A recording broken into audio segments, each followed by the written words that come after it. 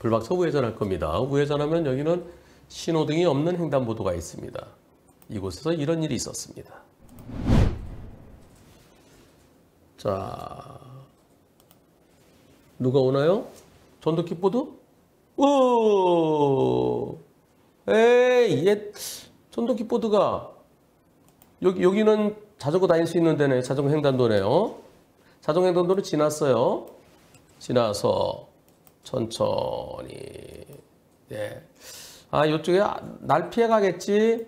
그리고 내가 이미 가로막고 있잖아요. 이쪽에서 오는 사람이 있나 없나 오른쪽을 잠깐 보면서 가는데 어 브레이크 안 잡고 내 앞을 지나가려다가 아이코 아 두 명이 타고 왔네요.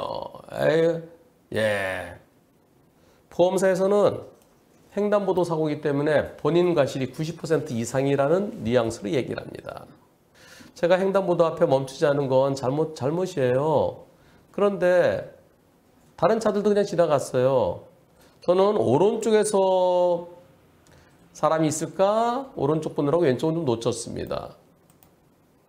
제가 전동 킥보드를 끌고 가던 사람을 때렸으면 90% 인정합니다. 아, 이것도 타고서 두 명이 타고 와서 왔어요. 제가 90% 잘못했나요?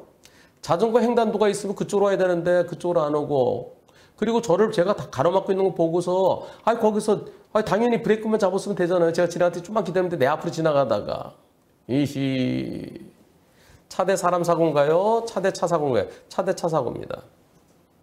어떻습니까? 누가 더 잘못했습니까? 불박차가 더 잘못했습니까? 전동 킥보드가 더 잘못했습니까? 투표 시작.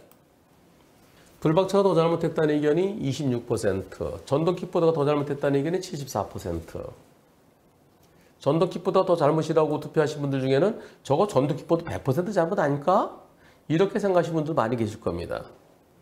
자전거 횡단도를 지나는 전동 킥보드를 미리 보고서도 그에 대비하지 못했다 그러면 여기에서요, 여기, 여기 있죠. 여기로 지나는 또는 이쪽으로 지나는 여기는 자전거 횡단도는 자전거와 전동 킥보드 다닐 수 있으니까요. 이걸 보고도 내가 들이받았다 그러면 불박자 잘못이죠. 근데 여긴 지나쳤어요. 지나쳤고 물론 저 전동 킥보드도 여기가 가로막혀서 이쪽으로 오기는 어렵 만만치 않아요. 그러면 그렇다 하더라도 요 차 지나가죠, 나 지나가죠. 그 뻔히 보이잖아요. 뻔히 뻔히 보이면서 브레이크만 살짝 잡으면 되잖아요. 내가 앞으로 가고 있는데 여기를 갖다 밀고 들어오면은 저도 전동 킥보드가 더 잘못됐다는 의견입니다. 만일 그리고 한 사람 탔으면은 브레이크 잡으면 두, 두 사람 탔기 때문에 제대로 무게 중심이 안 맞아갖고 그래서 제대로 멈추지도 못한 것 같아요. 만일 불박차를 가해 차량으로 그렇게 처리한다 그러면 시도 경찰청에 이의 신청하세요. 그리고 우리 보험사에서는 도대체 누구 편이냐고 도대체 누구 편이에요? 물어보세요.